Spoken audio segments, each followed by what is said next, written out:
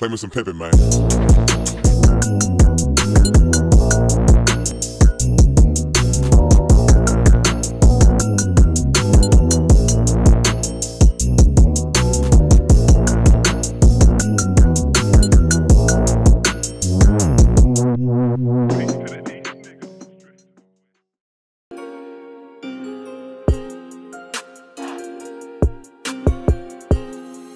Сайн байцгаана нэг Бесма гэдэг дуучин уран бүтээлчтэй хүн байна. TV өж бандал хааны алт сандал энэ бол сэрэг мандал амьдралыг амтал амжилтыг амтал тэндүүдэн байчудад Аа миний баг нас гэх юм бол ер нь хөдөө өссөн би өмнө говьт эмээ өөдөрөө байсан бас баг нас Дорногов аймагт баг нас маань өрнөсөн. Багтай их юм бол 90-ад оны сүүлийн үед л ер нь танилцсан баг та.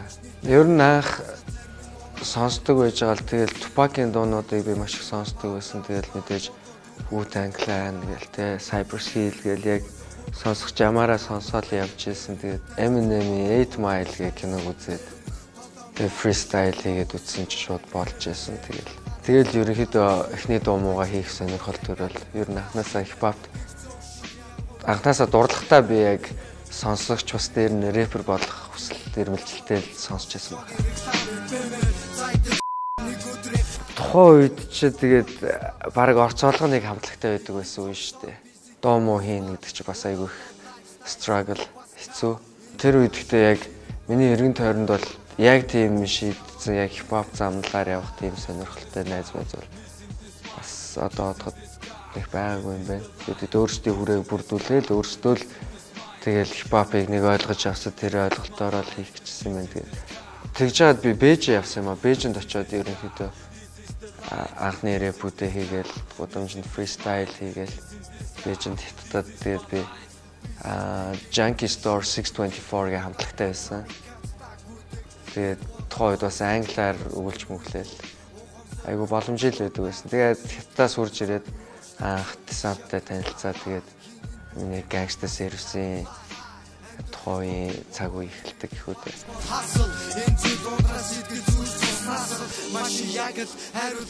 Тэр үед болохоор ер нь яг бяцхан хөвгт байхдаа мэдээж энэ системийг үзээ ядцсан, тэг эргчлөө хүсэмжилсэн, ганц эргчлөө мэдэрж байгаа юм нь баг хипхоп дуу хөгжин байсан юм уу те. Тухайн үед бол миний раймууд, раймбук гэдэг гэсэн миний раймууд бол бухимдалтай хүчрхийлэлтэй тийм л рэпүүд байсан баг та.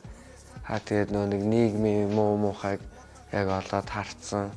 Тухайн бас миний насны л асуудал байгаа л да. Эхлээд одоо тэр чин өөрөө сайн юм мэдгүй ээж юм дөнгөж юмнуудыг мэдэж авахар чи хүн айгу мэддэг юм шиг санагдаж штэ. Тэгэхээр яг нийгмийг нэг бяцхан залуу тэнд харааж зүхэд одоо аа өрхөвдөө тэмцтэй. Тэр бол бас яг одоо жүү шийдэл биш л байсан баг. Гэхдээ яг тухайн үед бяцхан хөөхөдтэй тэгэл цаг үеийн өөрчлөлт ороо бусгай байдал инээ тэрэнд бухимдсан сэтгэлүүд бухимдсан тэр илэрхийллүүд тэгээ тухайн үед бас яг нөгөө нэг одооных шиг юм гоё эрх чөлөөтэй болоогүйсэн. Аа гэхдээ яг манай ээж Монгол хэл уран зохиолын багш хүн байдаг. Тэгээд ээж минь бас багаас бидний өсөхдөө аа Монголын нууц тавчаа гэх мэт Монголын яг уран зохиолын ертөнцөөр аялуулж өсгсөн хүн байгаа. Тэгээд ээжтэй бас их талархаж явдаг. Ер нь гудамжны шид дуулж байгаа ч гэсэн заримдаа яг ингээд яруу найргийн тийм яруу мэдрэмжүүд айгүй их байдаг юм шиг санагддээ штэ. Анхнаасаа би болохоор нөө Орос сургуульд сурсан, Орос школтой хөхт байхгүй тэгээ. Аа тэгээд яг англи хэлийг болохоор бас яг хөгжим сонсоол, хипхоптай танилцаал, гоё дуунууд сураал. Хөгжим сонссоор миний хипхоп юу англи хэл ер нь нэлээд дажгүй өндөр түвшинд төрсөн гэж боддог. Аа тэгээ ном унших бас айгүй чухал тэгээд би бас Орос англиар тэгээд ном хөвчлэн уншчдаг. Зөндөө штэ яг хипхоп ч бас нэг соёл нь өөрөө сленг аахгүй хэл яриа. Тэгээ одоо хүүдүүдийн хүмүүс өөр өөр яриатай байдаг шиг тэгээд би бол Улаанбаатарт бас топ сленгруудын нэг одоо гудамд залуучуудын одоо баг зөндөө олон жил янз янзаар шинэ гарч ирж байгаа ярианууд надаас бол ер нь зөндөө их нь гарсан л байдیں۔ Тэгээд тухайн үед болохоор би тэгж боддог яг Монголын хипхоп яг гангста сервис кликлиг бүүм орж ирснээр яг хипхопыг яг Монгол болгосон гэж ойлгодог. яг өмнө нь болохоор хипхоп орж ирээд ерөнхийдөө яг одоо no disrespect те хуучны хүмүүс гэхдээ яг дуурайлгаад бидэд өөрсдөө бас сайн мэдгүй шүү дээ. Дуурайлгаад хийгээд туршиж үзээд яг энэ ахуудад тааруулах гэдэг ингээ хичээж байгаа шүү дээ. Тэгээд яг тэр хүмүүсийн хийсэн орон бүтээлүүдийн үндсэн дээр боловсроод гарч ирсэн хүүхдүүд нь одоо хипхопын 2 дугаар давалгаа хийж ярьд юм даа. Gangsta Series, Click Click Boom, Wanku Opposite гэх мэт залуучууд яг яг нөгөө нэг Америкт хипхопыг хийдэг шигээр нь яг Монголд өөрсдийн ахуй дээр хийгээд эхэлсэн гэж ойлгодог. Тэгээд тухайн үед Монголынхаа нийгэмд бол яг хэрэгцээтэй яг зүйлийг хийжсэн. Аа тэгээд тэрнээс хойш Монголын хипхоп бас зөндөх гоё хөгжиж байна. Тэгээд одоо маа найз нар маань те манай G байна маа Десант байна маа К байна гэлтэй одоо ингээд тухайн үеийн найзууд маань бүгдээрээ одоо OG-нэр болсон. Цаадвал чинь энэ хипхоп өөрсдийн хийх юмаа хийцэн зарим залуучуудад нөлөөлөх ёстой нөлөөлөлөө өгсөн Тэгээд бас тэдэнтэй хамтарч ажилласан амжилтанд хүрсэн залуучууд ч зөндөө байна.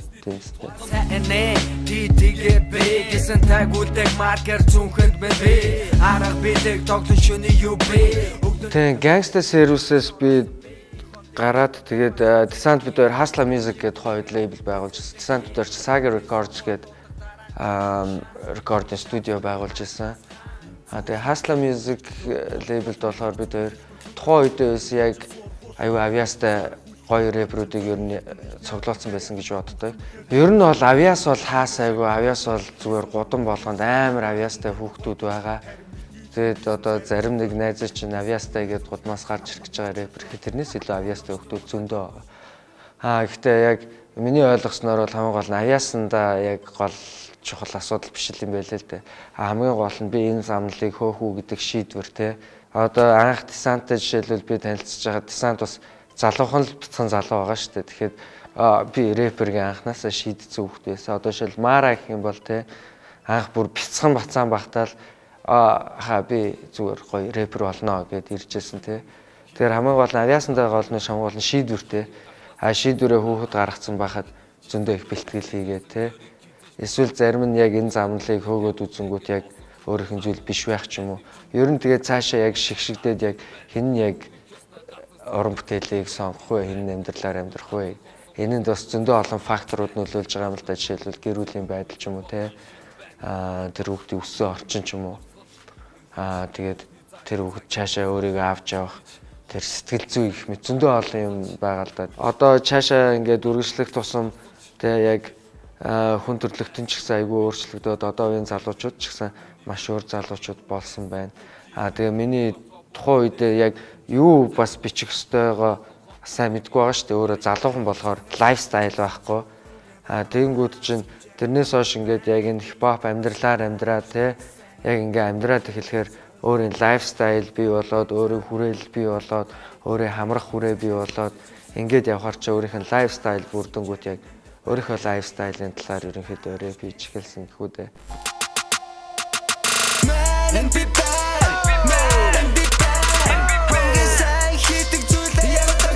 Дууны дуу хөгжмийн гаргалгаа гэдэг чинь айгүй эрх чөлөөтэй тийм чөлөөт ертөнц шүү дээ. Тэгээ илэрхийлэл тэгээд аа миний рэп гэх юм бол лайфстайлыг ерөнхийдөө яг тий амьдралын хэв маягийг яг одоо болж байгаа. Яг одоо миний туулсан түүх тий аа тэгээ бас миний одоо ингээд амьдарч байгаа тэр хэв маягийг илэрхийлсэн дуунууд байдаг.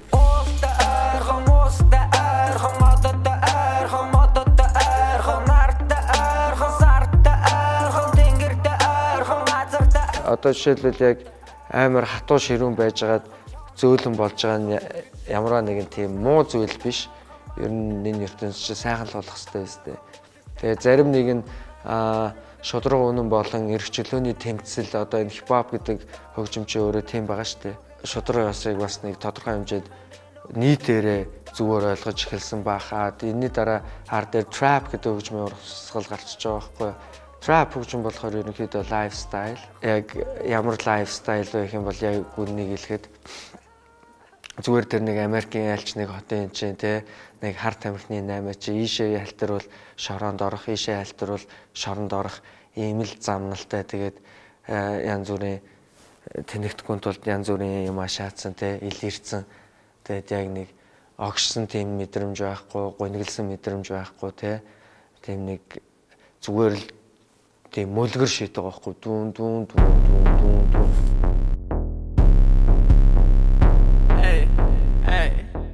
яг тухайн өөрийнхөө нөхцөл байдал сэтгэл зүйг яг зүгээр л ингээд хавтгай тийм илэрхийлсэн хөгжмийн хувьд ч гэсэн тийм хавтгай ихтэй хүчтэй цохилтуудтай а яг рэпийн өгүүлэмжийн хувьд ч гэсэн ер нь тиймэрхүү талдаа тэгж үүсч хөгжсөн байдаг. Тэгээ энэ нь яагаад одоо ингээд мейнстрим одоо дэлхийн даяар pop болчихж байгаа вэ гэхээр энэн дээр хэдий зарим одоо хуучны хипхопчд санал нийлэхгүй шүүмжилдэг боловч те яг л одоо зүгээр нэг гүчиг ан гүчиг ан гэдэг шээд одоо хит болох хэвээр юм бэ та нар нэг юм өгүүлэх хэвээр штэ гэд ингээд нөө эргчлөөний төлөө тэмцэгчийн хайрцагнаасаа гарч чадахгүй байгаад байдаг.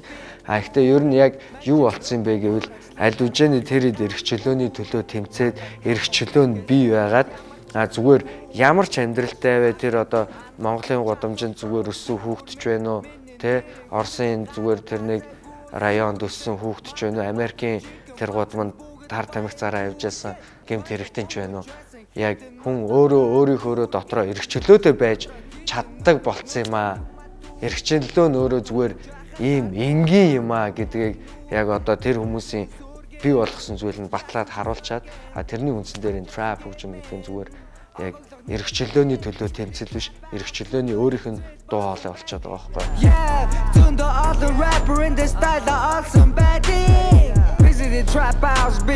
Одоо шал тэнэг өгүүлэмжтэй байсан ч бяцхан гоо үзэглэн тэнд бай яруу байдал жоохон ч гэсэн байгаад ч юм уу байхгүй ч байсан тэр хүн эргчлөөтэй байж яг тэгж байж өөрийгөө яг тийм тийм байдлаар илэрхийлж чадчихвэл тэр нь гой болчиход байгаа байхгүй. А одоо дээхэн үед жишээлбэл хин нэг нь хин нэгнийхээ дээрлэхээ те бүлийдээд тэгээд би чааг зодон шүү барин шүүгээ айлгачаараа хүчтэй арай олонд тоогддог те гоё гэж харагддаг байсан бол одоо цаг үе тийм байха болцсон байгаа байхгүй. Одоо цаг үе хин арай хошшоогийн мэдрэмжтэй бай те. Одоо нэг нь бүлид гээд өө би чааг алан тална гэхэд окей окей бойлоо очноо алан тал алж талах юм байна. Зүгээр гоё л байл да бро гэд хэлсэн нь баг те тэрийг нэг тоож байгаа ч юм байхгүй хэ тийм хөвгөлтэй байгаа нь илүү хүчтэй байдаг юм цаг үед бидэд ирчээд байгаа.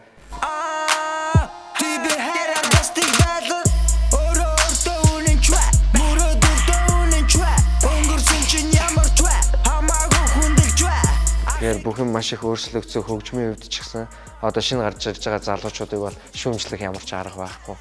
Тийм биз дээ. А шинэ гарч ирж байгаа залуучууд хуучин үеэсээ илүү байгаа л тодорхой. Угаасаа тэгээ дүү нахаасаа илүү байдаг жамтай тэгээд улам гой гой уран бүтээлчд гой гой уран бүтээлүүд хийж байгаа. А ихтэй зарим нэг нь мэдээж жоохон түүхий юм хийж байгаа. А зарим нэг нь мэдээж яг энэ хийж байгаа урлагийнхаа үндсэн суурийг ойлгохгүй өнгөцөн тийм нэг дуурайсан юм хийж байгаа. Энэ миний шүүж дүгнээд ах шаардлага байхгүй цэцтэй. Дуу хөгжмийн хувьд, нийгмийн хувьд бүдүүлэг эсвэл нарийнлэг байдлын хувьд ч гэсэн бид хэд яг урагшлаад л байгаа нь хамгийн гоё байхгүй. Тэгэхээр шин цаг үеийг хүлээн зөвшөөрөх хэрэгтэй. А би өөрөө хувьдаа бол Монголын хипхопт шин цаг үеийг үргэлж хүлээн зөвшөөрөөсөөр байсан. Шин цаг үеийг үргэлж дэмжсээр л байсан. Миний нэрийг хүндэл, өвж бандал хааны алтай сандал энэ бол сэрэг мандалт амьдралыг амтал би өөрийгөө яг 18 оноос ер нь боловсрч эхэлсэн л гэж бодож байгаа. Тэг яг яг сайхан боловсроод эхэлсэн. Тэг тэгээд тэрнээс хойш хийж байгаа миний уран бүтээлүүд ч гэсэн яг өөр байгаа.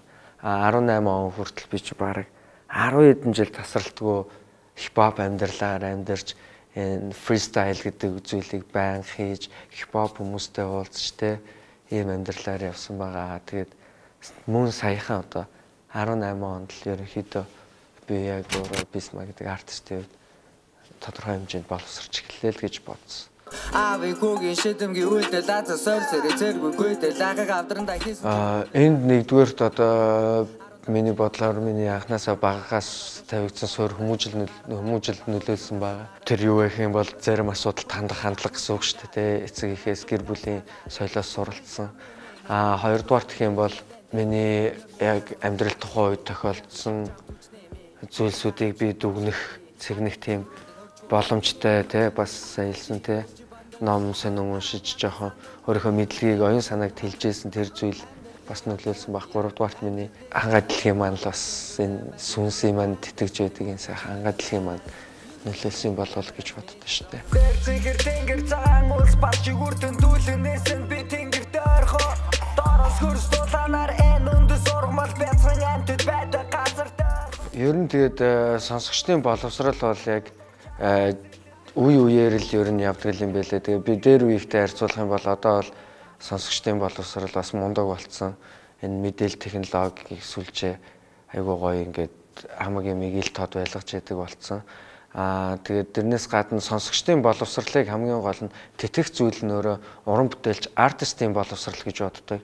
Аа тэгээд боловсролыг болохоор жишээлбэл би яг боловсролын системтэй холбож ярихгүй байна л да. Боловсролын систем ярих юм бол би адилхан л 10 жилд сурсан те би Орос албаны улсад 10 жилээ төгссөн өөрөө бакалаврын зэрэгтэй мэрэгжилтэй те аа дээд боловсралтай гих мэт ийм зүйлс байгаа боловч яг артист хүний боловсрал нь болохоор өөр юм байлээ л да. Яг тэгэхээр артист хүний уран бүтээл нь одоо сонсогчдынхоо тэр боловсролыг дээш нь татаж явж явах хэвээр.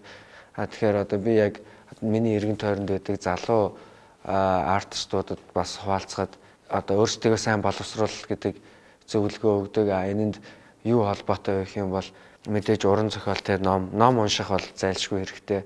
Хүн өдөрт нэг цаг 30 минут ч юм уу цаг ном уншихад гаргаж явах юм бол тэр хүний оюун санаа байнга тэлж гэн.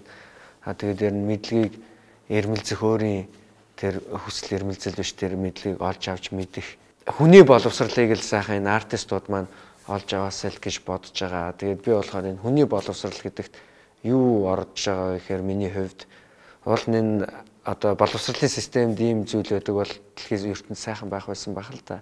Аа гэр бүлийн хичээл байх хэрэгтэй юм шиг санагддаг. Хүн гэр бүлийг яаж ойлгох энэ бүр цаашдын үйл мүлтэй айгүй их холбоотой болохоор те хэрхэн мөнгө олох те амь гарах орчин ертөнцид эдийн засаг санхүүгийн мэдлэгийн талаар боловсрал аа тэгээ тэрнээс гадна энэ оюун ухааны дэлхийн хүн төрөлхтний одоо байгаа мэдлэгийг одоогийн төвшөнд хүрсэн байгаа мэдлэгийг одоо хуучныхтай хамт ухаарч бодож олох те одоо түүхийг судлах орчин үеийн технологиг судлах гээд энэ зүйлсүүдийг болохоор яг сургуультай хамааралгүйгээр хүн өөрөө хийчих болно. Аа тэгээ одоо бүх интернет бүх юм нээлттэй байна. Одоо тэгээд залуучууд маань амар гоё энэ тал дээр одоогийн рэперүүд маань ч гэсэн айгүй их гоё ажилдаг болсаа. Тэгээд бас өөрийн соёл, ахуй соёл, Монгол соёл гэдэг угаасаа үнэхээр гайхамшигтай айгүй сонин тийм реалан байгаа байхгүй бодит байдал тий.